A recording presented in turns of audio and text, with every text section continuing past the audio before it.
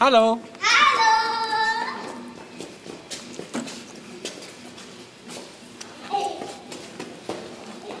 Alles Gute noch.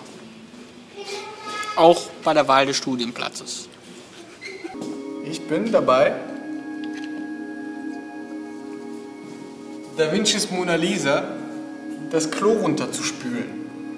Ich denke mir irgendwie, man muss es einfach machen. Also so, weil irgendwann reicht es auch einfach immer nur über Sachen zu, sch zu, äh, zu schwätzen. Ja, ich dachte erst, ich mache irgendwie was Praktisches, aber dann dachte ich, nee, mach's voll Kunst.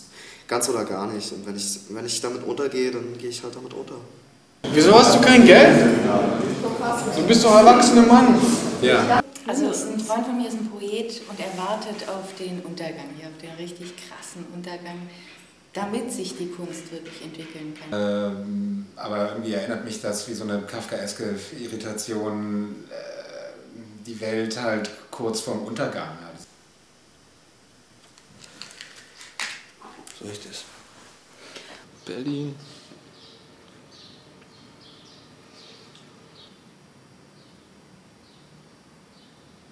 Ich, ich halte es nicht für unmöglich, dass man echt ganz im Keller landet.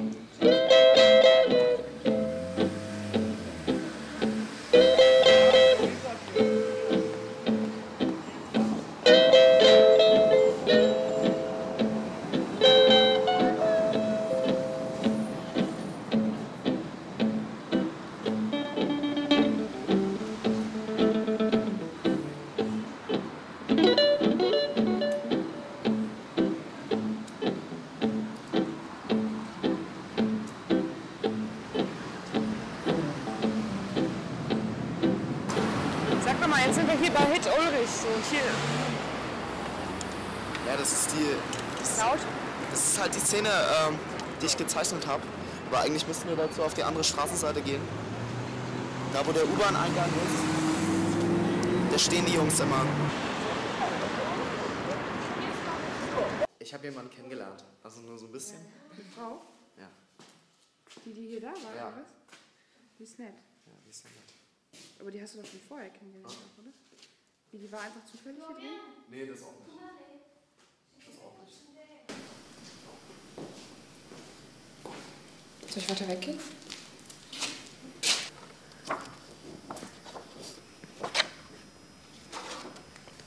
Das ist so dieses ganz Unmittelbare, wo, wo ich mir dann, wo ich auch keine Angst habe, sondern wo ich, wo ich äh, halt falle so. Das ist so, ein, so man, man, man vibriert so wie mit, mit, mit jeder Nervenfaser und ist dann dabei so. Und dann, dann passieren solche Sachen. Aber das ist, das ist halt selten, man muss in so einer ganz komischen Stimmung drin sein. Es ist sowas, sowas Nervöses, sowas ähm, Flirrendes irgendwie, ganz komisch. Meistens ist es ja so aufstehen, anziehen, Kaffee trinken, Zähne putzen und zur Arbeit. Ja, das Selbstporträt würde ich euch gerne zeigen. Also ich werde immer wieder gefragt, ja, Peter, möchtest du eigentlich schockieren irgendwie mit den Sachen, die du machst? Nein, ich möchte nicht schockieren, sondern es macht mir Spaß und ich, ich habe eine Freude an der Zerstörung eigentlich. Das ist der Grund, warum ich das tue. Ich würde das nicht tun, wenn es irgendwas mit Weltschmerz äh, als Hintergrund hat. Es hat auch keine äh, didaktische Funktion, sondern es ist einfach nur eine Freude, eine Freude am Hässlichen und am Zerfall eigentlich. Ich, ich glaube, ich bin halt ein Pessimist, der sich dann eher so auf die negativen Seiten vorbereitet, aber der Blick ist schon nach vorne gerichtet. Diese, dieses äh, zu sehen, wo die Tiefen sind, das ist, glaube ich, so eine psychologische Vorbereitung, die einem dann hilft, auch besser damit klarzukommen, wenn es soweit ist.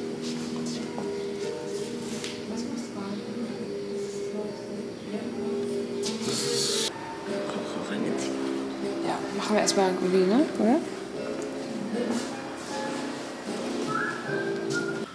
Ja, wir hatten uns vor drei Wochen getroffen und danach habe ich dieses Bild gemalt. Ähm, es, es war ein bisschen komisch, weil, mh, weil ich auf einmal den Titel, die Farbe und, und die Position der Figur und allgemein diese Position der, äh, dieser Formen im Bild ähm, auf einmal hingekriegt habe. Ich weiß jetzt nicht mehr, ob's, ob, ob's, ob ich es jetzt noch gut finde, aber jedenfalls ging es darum, dass dieses Einfachmachen mit diesem Nike-Zeichen hier zu tun hat, hier oben. Das heißt so, dieses, kennt ihr ja diesen blöden Spruch, just do it. Und dass es darum geht, dass dieses Bild ja einfach gemalt ist. Äh, Und es ist nicht nur einfach gemalt, sondern es ist, äh, als, als wenn man einfach eben etwas tut. Ja? Man tut etwas, ohne großartig sich darüber Gedanken zu machen und trotzdem hat es mehr Gedanken in sich, als wenn man sich vorher etwas überlegt. Jedenfalls kam es mir da so vor.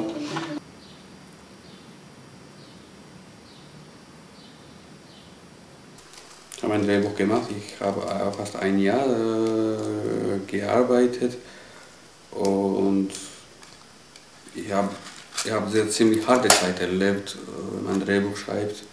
Was man kennt, das ist eine, eine, eine Katastrophe. Ich war fast, ein, äh, fast sechs Monate zu Hause, auch äh, ohne Außerwelt, nur zu Hause. Das war, das war ganz schwer und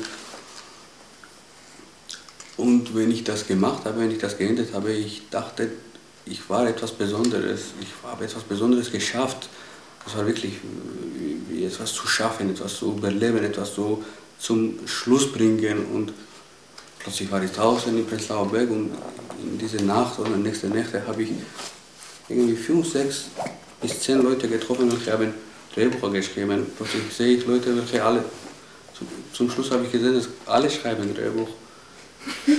Alle sind Schauspieler, alle sind Regies, alle, alle haben schon das.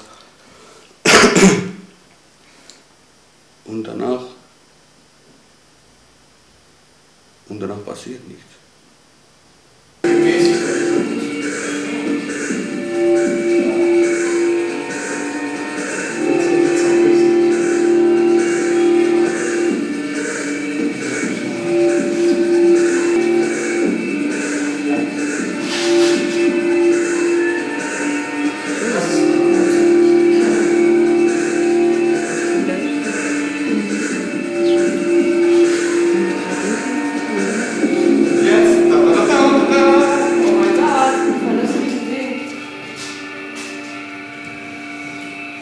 passiert nichts.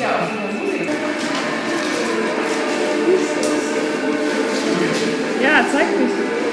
Mach mal, zeig mir deine Muskeln. Mach mal. Wow.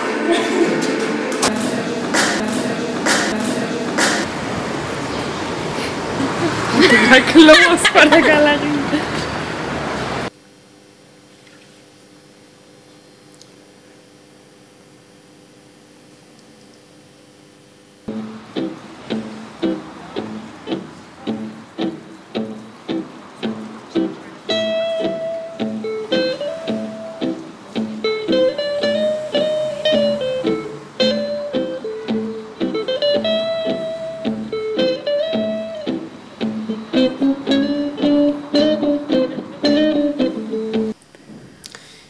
Ist eine Herausforderung an das Ego. Ne? Also wenn ich, das ist, wenn ich bei Ausstellungseröffnung war, ich hatte immer diesen Drang, ah, mich zu produzieren, zu schreien, so, hey, und hier bin ich, hier bin ich, weißt du? Und auf der anderen Seite dann aber, hey, nee, kommt, bleibt mir doch alle vom Leib, wer seid ihr denn? Ich habe das gar nicht nötig, hier unter euch zu sein, weißt du, so.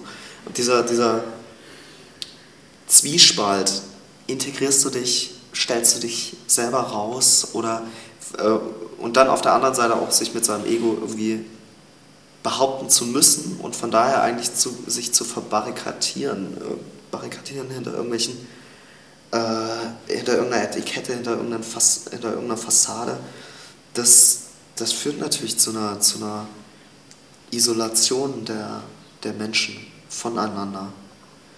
Nee, sag mal, was heute ist, oder wenn Ja, meine Vernissage ist heute endlich. Nach einem halben Jahr Arbeiten ist heute endlich mal eine Vernissage. Und es wird sich zeigen, ob sich das jetzt gelohnt hat oder nicht. Hast du deine, kannst du von deinen Bildern leben? Hast du deine Bilder schon mal verkauft hier? Ja, das waren bisher zwei ausverkaufte Ausstellungen mit England Pieper. Und ja, es lässt sich nicht so komplett davon leben. Es sind ein paar Nebeneinkünfte. Aber es ist schon okay, es ist besser als bei den meisten. Ja.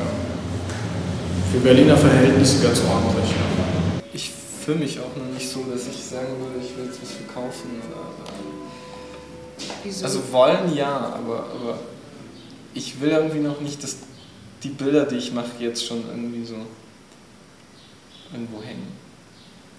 Wieso? Also jetzt noch nicht. Vielleicht ein paar, aber, aber nicht die meisten. Ich weiß noch nicht genau, ich habe irgendwie noch nicht so genau rausgefunden, was ich machen will und wie ich will, dass es aussieht. Also wie gesagt, hier, hier ist alles, alles fauler geworden. Alles. Und ich kritisiere nicht andere Leute, dass die alle fauler sind, sondern bei mir auch das passiert gerade, dass ich total fauler geworden bin. Ich kann nicht mehr mich nicht mehr kontrollieren, gar nicht kontrollieren, weil das ist irgendwie alles eine riesige, riesige Fluss, viel größer als Mississippi, fließt in eine Richtung und du bist ganz kleine Teile, also du fließt du langsam und irgendwie kann nicht, kann, kannst du gar nicht irgendwie dagegen kämpfen. Die einzige Möglichkeit ist zu Hause zu gehen, alles Tor zumachen, Fenster zumachen und Außerwelt gar keinen Kontakt haben. Gibt es Rettung, gibt es Erlösung? Das sind alles so postgotische, postkatholische äh, Fragestellungen. Äh, der Ausweg ist das Fortkommen. Das könnte konkret werden, er weiß nur noch nicht äh, wann, er weiß noch nicht genau wo und er weiß eigentlich auch noch nicht was. Aber es wird auf jeden Fall verflucht konkret. Naja. Wir sollten uns auf jeden Fall auch nochmal treffen und so ein bisschen drüber reden auch. So. Einfach so ein paar Nein, Eckdaten ist- einfach festzurren auch. So. Ne? Nein, es ist wahrscheinlich ein No-Budget-Projekt. Ja. So, egal was es dann letztendlich wird, aber er hatte auch schon, er hat auch jetzt schon mit dem Choreografen gesprochen und der, der kann aber nicht. Weil der hat ein anderes Projekt und das wird wahrscheinlich ein bisschen vorher auch nichts.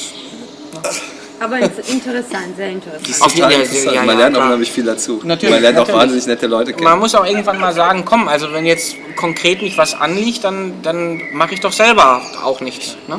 Einfach um das zu überbrücken. Bis zu der Zeit, wo dann einfach von alleine wieder keiner anruft. Ist auch total Ja. wichtig, dass man drin bleibt und Ja, sich sicher. weiterentwickelt. Natürlich, natürlich. Auch, äh, ich sag mal manchmal, auch wenn es mir beruflich nichts bringt, Hauptsache ich äh, stagniere privat.